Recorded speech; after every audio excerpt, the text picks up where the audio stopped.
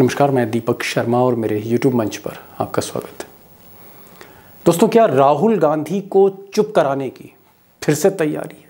इस निर्णायक चुनावी साल में राहुल को खामोश करने की ये एक जोरदार गुजरात लॉबी की कोशिश है। और पिछले 24 घंटे में राहुल गांधी को घेरने का ये जो खेल है, ये कैसे रचा गया? इसका मास्टर माइंड कौन है? कौन है इसके पीछे का मास्टर माइंड और ये जो इलेक्शन कमीशन का नोटिस है, जो राहुल गांधी को दिया गया, ये महज एक शुरुआत है। अब पिछली बार राहुल गांधी ने ललित मोदी और नीरव मोदी जैसे भगोड़ों को चोर कहा तो लोकसभा से उनकी सदस्यता ही चली गई। और इस बार राहुल गांधी ने प्रधानमंत्री को पनौती कहा। पनौती कह डाला। तो इलेक्शन कमीशन ने उनको नोटिस थमा दिया है। और खबर यह भी है, जो अंदर की खबर है, कि एफआईआर की भी अब तैयारी हो रही है। नोटिस के बाद एफआईआर की भी तैयारी है। अब सवाल इस बात का है कि जो फ्रीडम ऑफ़ एक्सप्रेशन है, जो बोलने की आज़ादी है, वो सिर्फ़ दो लोगों के पास है। अब, मोदी जी हैं, मोदी जी अगर 50 करोड़ की गर्लफ्रेंड की बात करें तो इलेक्शन कमीशन को कोई असर नहीं होता। अगर वो जर्सी काव कह दें, बिल्कुल भी वो अश्लील और आपत्तिजनक शब्द नहीं माने जाते। और अगर वो बटन दबाकर फांसी देने की बात कहें तो भी वो सब कुछ ठीक है। और अमित शाह अगर सारी हदें लांग कर, वो ग्रहण बोल दें, राहु केतु बोल दें, और ना जाने क्या क्या बोलते वो अलाउ है। एक कांग्रेस पार्टी और गांधी परिवार भारत की राजनीति के राहु और केतु है।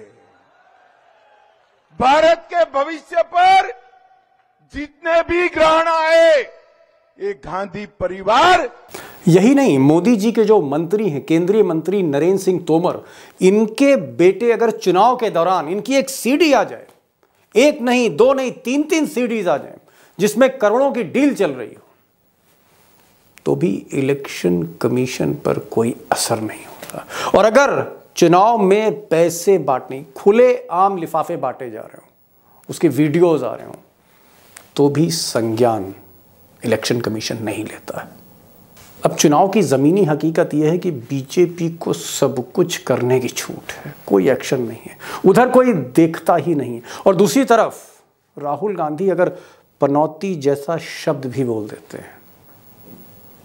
तो इलेक्शन कमीशन नोटिस थमा देता है। पनौती एक पवित्र शहर है। मकर संक्रांति के समय लगने वाले मेले का शहर है। नरेंद्र मोदी पनौती। देखिए राहुल गांधी जी ने अगर पनौती जैसा शब्द इस्तेमाल किया है अगर मोदी का नसीब देश की जनता के काम आता है तो इससे बढ़िया नसीब की बात क्या होती है भाई? आपने कहा देखिए नरेंद्र मोदी स्टेडियम हो या नरेंद्र मोदी खुद हो है तो पनौती। आ, मैंने राहुल गांधी का पनौती वाला बयान मैंने देखा हूँ। पनौती पनौती। पनौती। वो अच्छा भला अच्छा भला वहाँ पे अच्छा भला हमारे लड़के वहाँ पे वर्ल्ड कप जीत जाते अब दोस्तों ये जो पनौती जैसा लफ्ज़ है इसकी आड़ में राहुल गांधी को दूसरी बार। ये जो घेरने की कोशिश हुई या साजिश हुई, इसका मास्टर माइंड कौन है? ये तो मैं आज इससे परते हटाऊँगा और मैं ये भी बताऊँगा कि 24 घंटे के अंदर 24 घंटे के अंदर इलेक्शन कमीशन को कैसे शिकायत पहुँची और इलेक्शन कमीशन ने उस शिकायत पर इतनी तेज गति से कैसे रिएक्ट किया, कैसे कार्रवाई की और नोटिस थमा। उस पर मैं आऊँगा, लेकिन मैं चाहता हूँ कि अगर आप मुझे दो सेकंड दीजिए तो कुछ बातें आपके सामने रखना चाहता हूँ। पहली चीज़ ये कि पनौती जो लफ्ज़ है एक्सपर्ट बताएँगे कि पनौती का मतलब क्या है। लेकिन ये लफ्ज़ जो है, ये जो शब्द है, ये संसदीय पार्लियामेंट्री वर्ड है। ये असंसदीय शब्द नहीं है। यानी अगर किसी ने किसी को पनौती कहा तो इसका संज्ञान जो है, ये ज़रूरी नहीं है कि पुलिस ले। और दूसरी बात, ये जो शब्द है पनौती, ये अश्लील नहीं है। और इसीलिए शायद आपत्ति किसी ने आज तक दर्ज नहीं कराई। और सबसे बड़ी चीज़ कि मेरी कुछ पुलिस के बड़े अधिकारियों से आज बात हुई और कुछ वकीलों से बात हुई। और मैंने उनसे पूछा कि क्या पनौती लफ्ज़ को लेकर शब्द को लेकर क्या कभी किसी ने ऐतराज़ किया, कोई थाने गया, किसी ने शिकायत दर्ज कराई, कोई एफआईआर हुई, कोई मुकदमा दर्ज हुआ? मेरे संज्ञान में, जिनसे मैंने आज बात की, अभी तक या आज तक पनौती को लेकर कोई एफआईआर नहीं हुई। यानी एक ऑब्जेक्शनेबल वर्ड नहीं है। ये एक पार्लियामेंट्री वर्ड है जिस पर आज तक कोई एफआईआर नहीं हुई है। अगर आपकी जानकारी में है तो आप ज़रूर शेयर करें कमेंट बॉक्स में मुझसे। अब दोस्तों, जिस तरह से इलेक्शन कमीशन ने बहुत तेज एक्शन लिया और जिस तरह से बीजेपी की तरफ़ से उनके पास शिकायत पहुँची और जो एक्शन हुआ, नोटिस दिया गया, इसके पीछे जो खेल था, इसके पीछे जो मास्टरमाइंड था, मैंने कहा था कि उससे मैं आज पर्दा ज़रूर हटाऊँगा और आपको बताऊँगा कि इनसाइड स्टोरी क्या है। लेकिन यहाँ पर मैं ऐड करना चाहता हूँ कि जिस दिन ये वर्ल्ड कप का फाइनल होना था ऑस्ट्रेलिया वर्सेस इंडिया उसके एक दिन पहले से ट्विटर पे पनौती शब्द ट्रेंड कर रहा था। और ये ट्रेंड इसलिए कर रहा था क्योंकि खबर आ गई थी गोदी मीडिया से कि मोदी जी चीफ गेस्ट बन के नरेंद्र मोदी स्टेडियम में बैठेंगे मैच देखेंगे। और तब एक बहुत बड़े तबके ने कहा कि मोदी जी, आप मत जाइए। आप जाएँगे तो कहीं इंडिया हार ना जाए, कहीं आप पनौती ना बन जाए। इस तरह की बातें ट्विटर पे होने लगी। अगले दिन ये जो पनौती जो था, ये टॉप ट्रेंडिंग में चला गया। और इतफाक़ से जब मोदी जी वहाँ स्टेडियम में गए, साथ में डिप्टी प्राइम मिनिस्टर थे ऑस्ट्रेलिया के, तब हिंदुस्तान की टीम का जो प्रदर्शन था इतफाक़ से बहुत ख़राब था। और हिंदुस्तान, चाहे बैटिंग बैटिंग हो, चाहे बॉलिंग हो, बुरी तरह हारी। और जब वो हारी तो ये जो पनौती शब्द था, ये इसने ट्रेंड करने के सारे रिकॉर्ड तोड़ दिए। वो चाहे इंस्टाग्राम हो, वो चाहे ट्विटर हो, वो चाहे फेसबुक हो, चाहे वो यूट्यूब हो, ये शब्द गूगल पे टॉप ट्रेंड करने लग गया। और इसने सारे रिकॉर्ड ध्वस्त कर दिए। और तब बीजेपी को लगा अगले दिन, जब अगले दिन भी ये ट्रेंड करने लगा तो बीजेपी को लगा, नड्डा साहब को लगा और बाकी उनकी जो अमित शाह की जो टीम थी, उनको ये लगा कि कहीं ऐसा ना हो जाए कि देश के प्रधानमंत्री पर ये जो शब्द है, पनौती, ये चस्पा कर दिया जाए, चिपका दिया जाए कहीं कहीं ये खेल ना हो। और 24 में चुनाव है, फाइनल है। मोदी जी को कहीं लोग पनौती कहना ना शुरू कर दें। और तब एक टॉप मीटिंग हुई बीजेपी की और वहाँ पर आईटी सेल को कहा गया कि आप इसको काउंटर करिए। आप किसी तरह से इस ट्रेंड को काउंटर करिए। और इस पूरे प्रकरण में मोदी से कहीं ज़्यादा नाराज़। अमित शाह थे, चाणक्य। अब अमित शाह इसलिए सबसे ज़्यादा नाराज़ थे क्योंकि ये जो वर्ल्ड कप का जो फाइनल है उसकी आयोजन समिति में उनका बेटा ही था जय शाह जय शाह ही बीसीसीआई के सेक्रेटरी हैं। बीसीसीआई ही ऑर्गेनाइज़र है। जय शाह और अमित शाह ने ही उस स्टेडियम का नाम नरेंद्र मोदी स्टेडियम रखा है। जय शाह और अमित शाह ने ही तय किया था। ऐसा लोग कहते हैं कि नरेंद्र मोदी जी जो हैं, वही चीफ गेस्ट होंगे।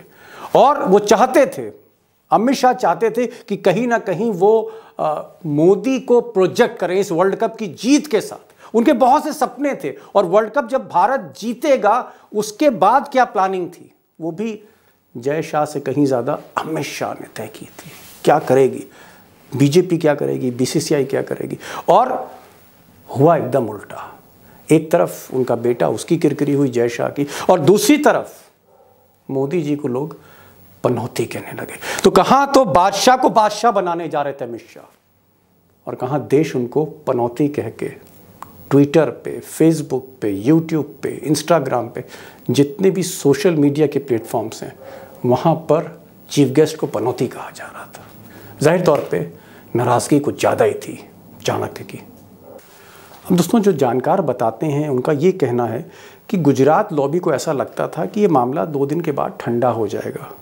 ठीक है, हिंदुस्तान की टीम हारी, लोगों के दिल टूटे, लेकिन एक दो दिन के बाद लोग भूल जाएँगे कि पनौती क्या था और ये ट्रेंड होना भी बंद हो जाएगा। और ऑलमोस्ट बंद हो ही रहा था वो।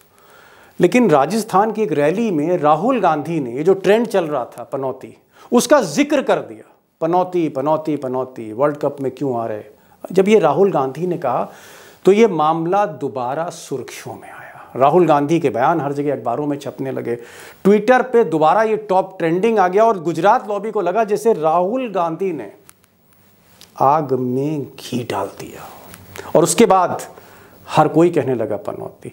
तब ऐसा लोग कहते हैं कि अमित शाह को लगा कि कहीं 2024 के फाइनल तक, सुपर फाइनल तक, लोकसभा के चुनाव तक ये जो चार पाँच महीने हैं, कहीं पनौती को चस्पा ना कर दिया जाए मोदी जी की शख्सियत पर। मोदी जी का मतलब कहीं पनौती ना कह दिया जाए, पनौती पनौती। और इसके लिए, इसको काउंटर करने के लिए जहाँ बीजेपी का आईटी सेल फेल हो गया था तो ये सोचा गया कि अगर एफआईआर हो जाती है तो क्या चुप कराया जा सकता है? गुजरात के किसी थाने में या उत्तर प्रदेश में कहीं जहाँ बीजेपी की सरकार अगर वहाँ एफआईआर करा दी जाए और उस पर एक्शन हो जाए तो शायद इस लीगल एक्शन को लेकर राहुल गांधी चुप हो सकते लेकिन मैंने पहले भी कहा कि पनौती संसदीय शब्द है, असंसदीय नहीं है, अश्लील शब्द नहीं है जाति सूचक नहीं है, अभी तक इस पर कोई एफआईआर नहीं हुई है।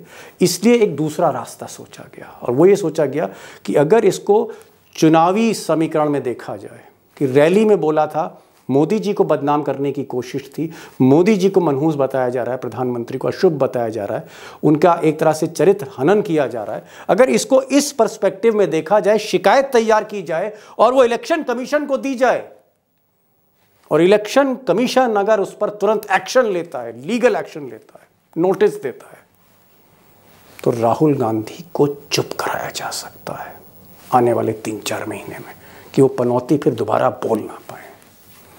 और फिर वैसा ही हुआ जो गुजरात लॉबी ने चाहा। शिकायत ड्राफ्ट हुई, इलेक्शन कमीशन को शिकायत भेजी गई और इलेक्शन कमीशन ने तेज़ी दिखाई, एक्शन लिया और तुरंत अगले ही दिन राहुल गांधी को नोटिस थमा दिया। वैसे भी गुजरात लॉबी इस मुल्क में जो चाहती है, बहुत कम लोग हैं जो ना कहने की हिम्मत कर पाते हैं। अब दोस्तों, आप समझ ही गए होंगे कि मास्टर माइंड कौन है, किसको सबसे ज़्यादा तकलीफ़ थी और कैसे सारा एक खेल रचा गया। और एक लॉन्ग टर्म प्लानिंग थी। 2024 तक राहुल गांधी ये लफ्ज़ सिर्फ़ बोल ना पाए। और अगर बोलेंगे तो हो सकता है, जैसे मैंने पहले कहा, कि फिर एफआईआर भी एक ऑप्शन हो सकता है। डेस्परेशन में। लेकिन मैं आज जिस एक्सपर्ट को लाना चाह रहा हूँ, वो दरअसल एक पॉलिटिकल एनालिस्ट भी हैं। राजनीति की भीतर तक समझ रखते हैं। साहित्य की भी समझ रखते हैं। प्रोफेसर रविकांत, पनौती का मतलब क्या है? वो भी आपको बताएँगे। और इस पनौती के बाद ये जो पनौती कांड अब हो गया है, जो नोटिस आ गया है, उसके बाद कांग्रेस की क्या स्ट्रैटेजी होगी? और बीजेपी को इससे लाभ है या नुकसान है? और क्या मोदी जी को इससे और ज़्यादा नुकसान है?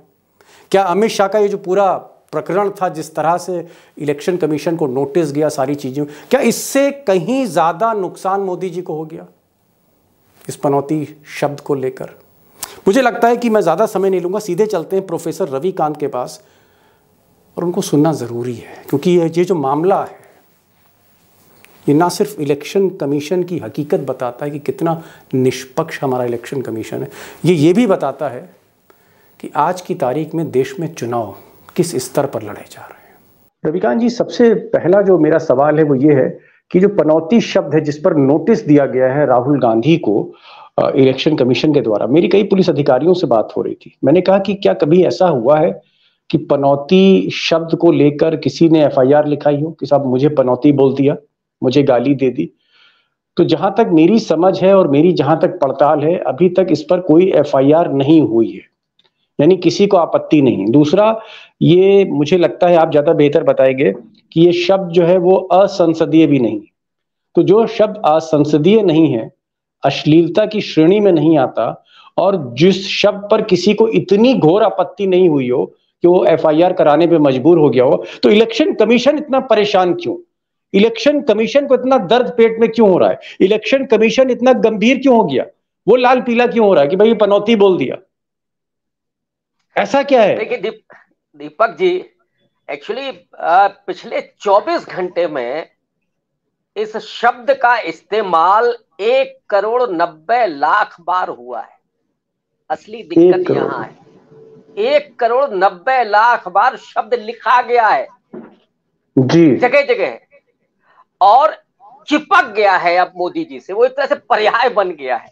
लेकिन चुनाव आयोग के इस नोटिस पर हँसी आती है कि ये शब्द न तो असंसदीय है, ना अश्लील है, ना गाली है, ना आपत्तिजनक है, ना अभी तक किसी ने ऐतराज जताया। और ये शब्द कोई आज से है?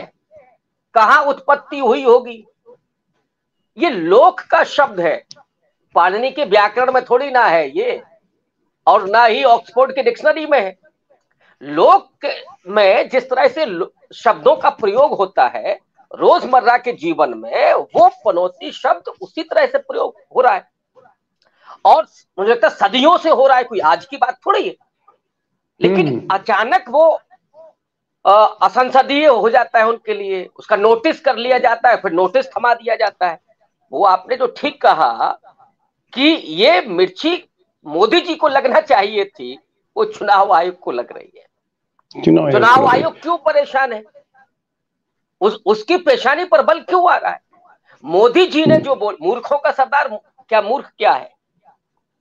इसके अगर बरक्स हम इसको खड़ा करें पनौती को अगर आप बहुत कहेंगे उसकी व्याख्या करेंगे तो वो अशुभ के सेंस में आता है। मनहूस। इसके अलावा और कोई मतलब नहीं है उसका। मनहूस कहते हैं भाई बड़ा मनहूस आदमी मनहूस। बस। नहीं, लेकिन लेकिन डॉक्टर साहब, अगर जैसे सपोज़ करिए किसी ने कहा है भाई तो इसकी वजह से हार गई, ये आदमी तो बड़ा मनहूस है। ये देखो, ये आदमी यहाँ आ गया, इसकी वजह से काम नहीं हुआ, ये आदमी तो बड़ा मनहूस है। लेकिन अगर आप मनहूस शब्द को लेकर कि भाई, मुझे मनहूस कह दिया, अगर मैं थाने में कोई तहरीर दू, कौन एफआईआर लिखेगा इस पर? ना किसी ने तहरीर दी, ना किसी ने लिखा। तो अगर मैं कहूँ कि साहब, मुझे पनौती कह दिया डॉक्टर साहब ने, कोई मेरी एफआईआर एंटरटेन करेगा? या मैं मजिस्ट्रेट के यहाँ जाता हूँ इस्तगासा के लिए कि साहब मजिस्ट्रेट जो है वो डायरेक्ट करे पुलिस को तो कौन मजिस्ट्रेट मुझे एंटरटेन करेगा? सवाल ये कि अगर थाने का थानेदार एंटरटेन नहीं कर रहा है, अगर एक मजिस्ट्रेट एंटरटेन नहीं कर रहा, या ना उसने किया तो इलेक्शन कमीशन इलेक्शन के दौरान 2024 के सेमीफाइनल के दौरान इतने क्रूशल समय पर वो एंटरटेन क्यों कर रहा है साहब? मैं तो ये आपसे पूछ रहा हूँ।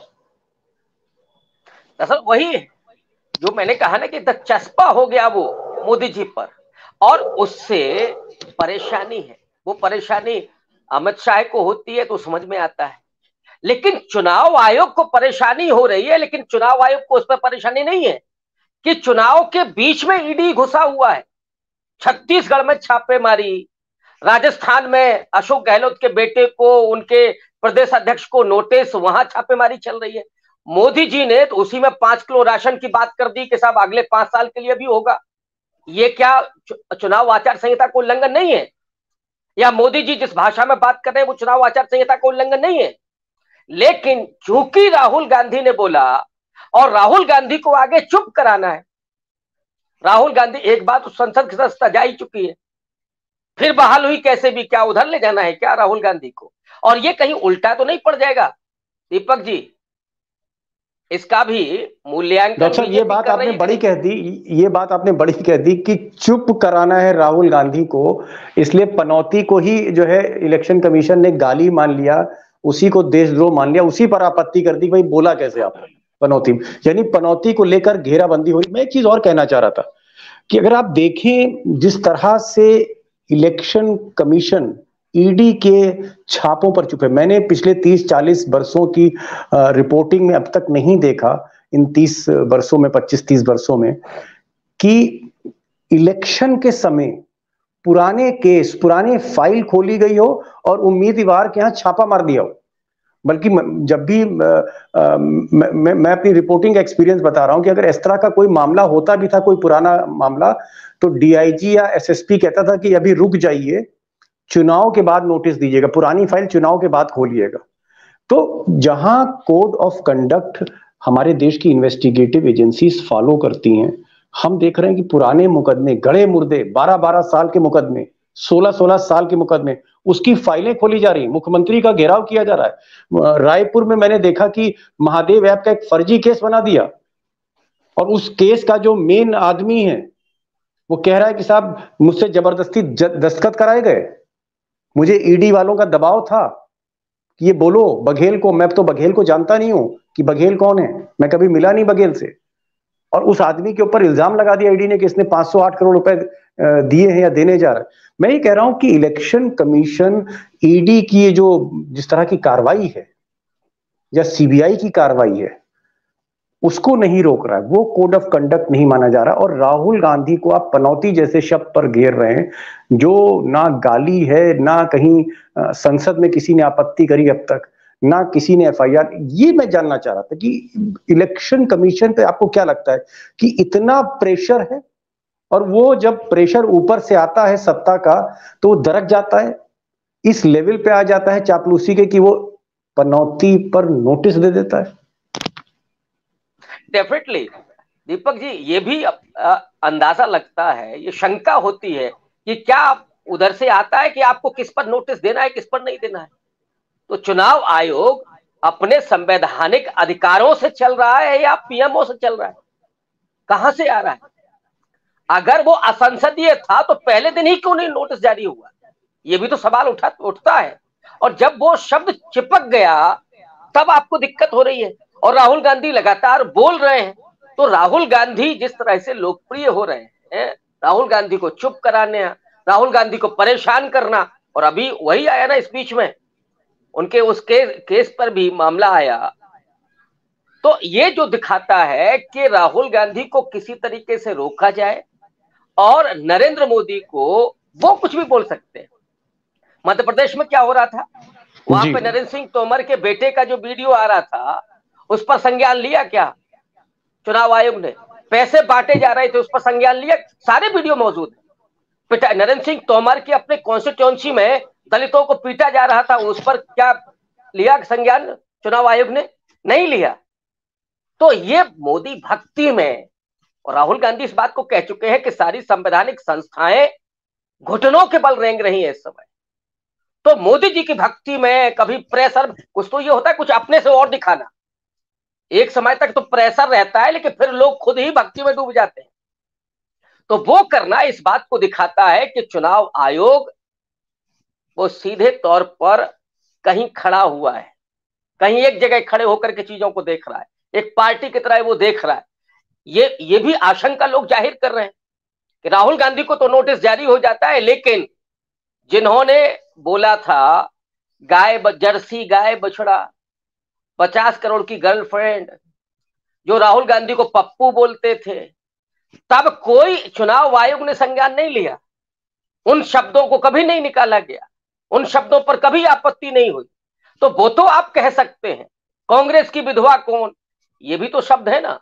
लेकिन संसदीय शब्दों में, असंसदीय शब्दों में वो नहीं आता है। मोदी जी कुछ भी बोल सकते हैं, लेकिन प्रतिपक्ष के लोग, विपक्ष के नेता, अगर वो ऐसा कुछ बोलते हैं जिससे मोदी जी की छवि धूमिल होती अरे, इस देश के करोड़ों लोग लिख रहे हैं। तब कहा गया था? क्यों एफ़ आई दर्ज नहीं हुई इस पे? अगर वो शब्द गलत है अब शब्द है, गाली के उसमें आता है तो फाइनल के पहले सैकड़ों, हज़ारों लोग ट्विटर पर लिख रहे थे कि नहीं जाना चाहिए मोदी जी को, क्यों नहीं जाना चाहिए? उस शब्द का इस्तेमाल कर रहे थे। फाइनल में मैच देखते देखते लोग इस्तेमाल कर रहे थे। डॉक्टर साहब एक तो चीज़ और मैं जानना चाह रहा इस्तेमाल कर रहे हैं और राहुल गांधी ने उसी को हामी एक तरह से भर दी। वो कैसे आपत्तिजनक हो? नहीं चलिए ठीक है जो जो लोग कह रहे थे वही राहुल गांधी ने कह दिया लेकिन मैं यहाँ पूछ रहा हूँ क्योंकि हिंदी साहित्य में आपकी इतनी पैठ है आप हिंदी साहित्य पढ़ाते भी रहे हैं। मैं आपसे जानना चाह रहा था क्या हिंदी में जो पनौती शब्द है इसका असली मतलब क्या है? मतलब ये क्या ऐसी बोलचाल की भाषा में ये शब्द आ गया? या ये वाकई ये शब्द जो है वेद पुराण में भी है, या ये जो शब्द है ये किसी बड़े साहित्यकार ने इसकी उत्पत्ति की हो। मतलब ये जो पनौती है क्योंकि अब लोग फ़ोन करके पूछ रहे हैं कि भाई ये पनौती के बहुतों को नहीं पता है। हमारे पूर्वी उत्तर प्रदेश और बिहार में तो ये चलता था, लेकिन बहुत से लोग पूछ रहे हैं। मेरे पास फ़ोन आ रहे हैं कि साहब ये पनौती है क्या? तो पनौती क्या है? मतलब क्या है इसका? देखिए दीपक जी मैं पूरे विश्वास के साथ कह रहा हूँ कि ये शब्द कोई संस्कृत के किसी ग्रंथ से थोड़ी ना निकला है। ये लोक का शब्द है लोगों की अपनी जबान का शब्द है। अच्छा जैसे हम कह देते हैं कि साहब कि फलाना आदमी है वो ढक्कन हो गया है कि उसको ढक्कन कर जी, दिया। अब ढक्कन तो बोतल के कैप को कहेंगे किसी को हम्म। ढक्कन कर दिया साहब यही आदमी तो बोतल जैसा है। किसी प्रवृत्ति के लिए ढक्कन का क्या मतलब है वो एक प्रवृत्ति के लिए? वैसे ही पनौती के बैड लक के संदर्भ में, अशुभ के संदर्भ में उसका इस्तेमाल होता है लोक में, और बहुत अनपढ़ लोग करते हैं। पढ़े लिखे लोग बहुत कम इसका इस्तेमाल करते हैं, क्योंकि लोक का शब्द है, गाँव का शब्द है, ग्रामीण इलाके का शब्द है। ये संस्कृत के किसी व्याकरण ग्रंथ में आपको नहीं मिलेगा, न किसी डिक्शनरी में आपको मिलेगा। ये विशुद्ध रूप से लोक का शब्द है, और इसका वही एक मतलब होता है। लोग पचासों मतलब उसके निकालते रहे। चुनाव आयोग ने व्याख्या की क्या कि इस शब्द का क्या मतलब है? पहले तो चुनाव आयोग को बताना चाहिए कि इस शब्द का ये अर्थ मैं जानता हूँ और ये राहुल गांधी ने क्यों बोला? चुनाव आयोग के पास कोई डिक्शनरी है इस तरह की क्या? उसने शब्द की व्याख्या की है क्या? आप जैसा कह रहे हैं अगर हमने मान लिया पनौती का मतलब अशुभ या पनौती का मतलब मनहूस तो अगर कोई कहते कि साहब मोदी जी बहुत अशुभ हो गए तो वही विपक्ष का नेता तो बोलेगा ही। कांग्रेस नहीं अशुभ बोलेगी या कांग्रेस मोदी जी को पनौती नहीं बोलेगी तो कौन बोलेगा? तो ये जो भाषा है आपको मैं आपको याद दिला दू। यही नरेंद्र मोदी बोल रहे थे ना दिल्ली में कि लोग कहते हैं कि मोदी बड़ा नसीब वाला है। ये उनका ही शब्द है ना। तो ये नसीब का जस्ट उल्टा है। आप कह रहे हैं कि मोदी बड़ा नसीब वाला है और लोग कह रहे हैं कि नहीं नहीं नहीं ये तो उल्टा है क्योंकि इनके जाने से ये हो गया इतफाक से हो गया। देखिए ये अंधविश्वास है और इस शब्द का अंधविश्वास के अलावा कोई मतलब नहीं है। जिसको मानना है वो मानता है जिसको नहीं मानना नहीं मानता है। मैं इस शब्द में जो भी अर्थ बनता है वो एक अंधविश्वास में नहीं मानता हूँ। तो उसको बहुत हल्के में लेना चाहिए। चुनाव आयोग को भी और मोदी जी को भी। लेकिन मोदी जी के खिलाफ एक शब्द कोई नहीं बोल सकता। डॉक्टर फाइनल क्वेश्चन चलिए ठीक है आप आपने पनौती का मतलब भी बताया कि भाई इसका मतलब ये है और ये कोई प्रचलित हिंदी साहित्य का शब्द नहीं है ये किसी संस्कृत के व्याकरण से नहीं निकला ये आपने बताया। लेकिन यहाँ मेरा जो सवाल है क्योंकि आप राजनीतिक विश्लेषक हैं और संस्थाओं पर नज़र रखते हैं आपको लगता है कि ये जो नोटिस आज दिया बहुत ही मतलब हल्के मामले में कि पनौती क्यों बोल दिया? इस पर अगर इलेक्शन कमीशन ने संज्ञान लिया है तो क्या आपको लगता है कि इलेक्शन कमीशन की साख घटी है? एक मैसेज गया है कि इलेक्शन कमीशन किस लेवल पे उतर आया है कि अगर कोई विपक्ष का नेता अगर सत्ता पक्ष को ऐसा बोल देगा तो इलेक्शन कमीशन विचलित हो जाएगा। मतलब इलेक्शन कमीशन को ऐतराज हो गया, जिस पर किसी को ऐतराज नहीं था। तो क्या इलेक्शन कमीशन की निष्पक्षता पर आपको लगता है उंगली उठी? और क्या आपको लगता है कि इलेक्शन कमीशन में एक हल्कापन आपको दिखा? एक चापलूसी आपको दिखी और आपको लगा कि कहीं ना कहीं जो संविधान है, संवैधानिक संस्थाएँ हैं, वो किस दिशा की तरफ़ जा रही हैं इस लोकतंत्र में? आपको क्या लगता है कि ये एक गंभीर मामला है अगर ऐसे हल्के शब्दों पर इलेक्शन कमीशन रिएक्ट करे और नोटिस पे दीपक जी, खुद चुनाव आयोग के लिए जो शब्द का इस्तेमाल होता है, वो चुनाव आयोग ही मुझे लगता है उसके संज्ञान में होगा। केचुआ कहा जाता है उसको। केंद्रीय चुनाव आयोग, शॉर्ट फॉर्म है हिंदी का। लेकिन असल में जो केचुआ का मतलब है कि जो रीढ़ विहीन हो, जिसके रीढ़ ही ना हो, जो चापलूस हो तो क्या चुनाव आयोग अपने आप को साबित कर रहा है कि लोग उसके बारे में जो कहते हैं वही है वो असल में? ये क्या साबित कर रहा है वो?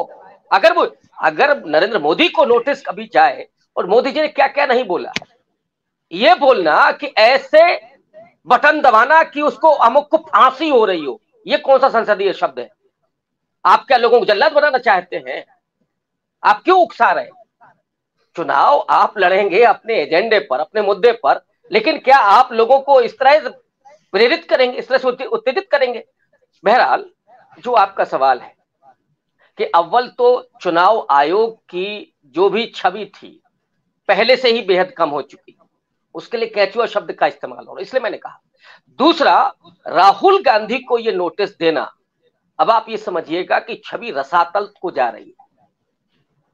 चुनाव आयोग को अपनी अगर साख बचानी है और अपने स्वायत्तता को भी बचाना है तो उसको कहीं बिछ नहीं जाना है। सरकारें तो आती जाती हैं।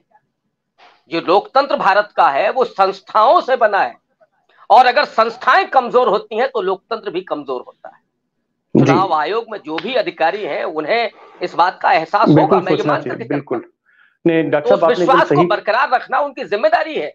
बिल्कुल सही कहा है और जो चुनाव आयोग के जो इस वक्त आयुक्त हैं जो कमिश्नर हैं और चीफ कमिश्नर हैं जो इस प्रोग्राम को देख भी रहे हो मैं उनसे भी गुजारिश करूँगा अपने दोस्तों के मार्फत उनके ज़रिए कि कम से कम भाई संविधान के बारे में सोचिए लोकतंत्र के बारे में सोचिए। आप लोग एक बहुत ही इम्पोर्टेंट चेयर पे बैठे हैं और एक ऐसे ओहदे पर बैठ के पनौती और खनौती टाइप के शब्दों का संज्ञान लेना और चापलूसी दिखाना मतलब जहाँ कोई ऐसी बात नहीं है, वहाँ पर आप बात का बतंगड़ बना रहे हैं और जहाँ पर आपको संज्ञान लेना चाहिए था। नरेंद्र तोमर, जो केंद्रीय मंत्री हैं, उनके बेटे का वीडियो आ रहा है, लगातार वीडियो आ रहा है कि इतने पैसे की डील हो रही है, इतने पैसे की डील हो रही उसका संज्ञान नहीं लिया जा रहा है। ईडी छापे मार रही है वोटिंग से पहले। पुराने केस कर रही, उस पर इलेक्शन कमीशन संज्ञान नहीं ले रहा है। उसको जो है एक क्लीन चिट दी जा रही, हरी झंडी दी जा रही।